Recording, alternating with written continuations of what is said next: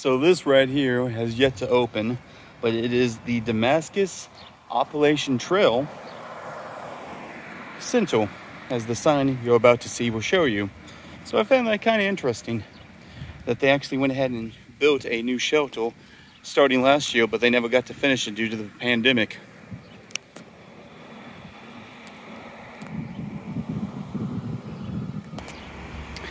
A little bit of a moving starting shot here of just everything that's going on. But pretty interesting that the Damascus Trail Center here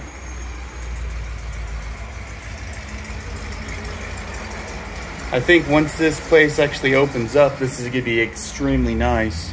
Do a little bit of a pan shot here. Got some uh, nice little community centers here.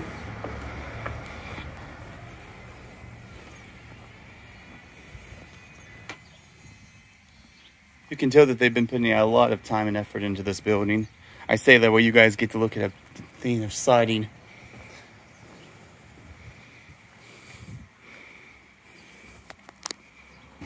So here's some other areas too, here in Damascus.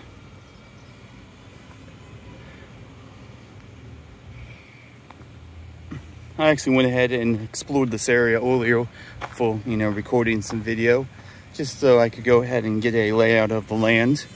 Make sure it was something worthwhile to go ahead and actually post.